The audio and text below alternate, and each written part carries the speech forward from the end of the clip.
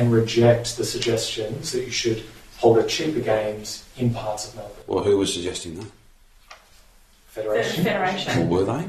Yes. Well, were they? You won't be able to go to the pub because the pub is shut. That doesn't mean you can have all your mates round to home and get on the beers. That's not appropriate.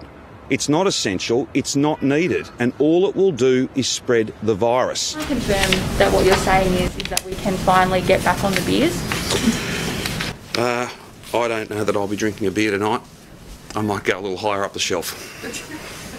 I don't have any response to that. I'm not here to scoff at anyone or sneer at them either, frankly. Um, you know, that doesn't, that doesn't work against this um, virus. What do you make of South Australia opening its borders to several other states but not Victoria? Well, look, I don't want to be offensive to South Australians, but why would you want to go there?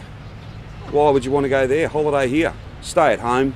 Uh, don't get too stressed that they won't let you into Adelaide. Why would you really want to go there? The message? Business is better in SA. I'd be a bit more worried about South Australia stealing Victoria's G- GST, frankly. If South Australia's booming, if South Australia's doing so well, then maybe they can give back the 700 million bucks that Victorians provided to them last, last year. Can any of you tell me what the point of this story is? Well, I genuinely don't know. I genuinely don't know what the point of this story is. What it did reveal was a first look at the stairs the Premier slipped on at the front of a Sorrento home rented in March last year. What, you're going to interview the stairs next? Like, people can go as low as they want. I'm not coming there with them. For holding This is quite extraordinary.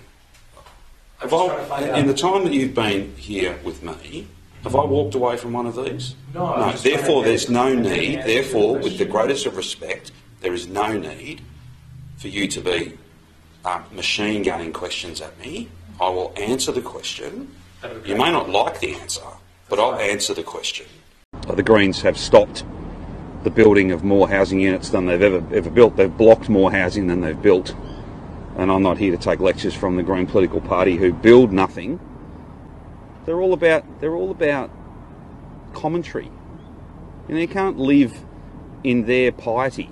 You can't live in their purity. You can't you know their their words don't put roofs over anyone's heads. Their politics is all about themselves. You see, an issue only matters if they get credit for fixing it. Well, that'd be pretty hard when you fix nothing. You've never fixed a thing, ever.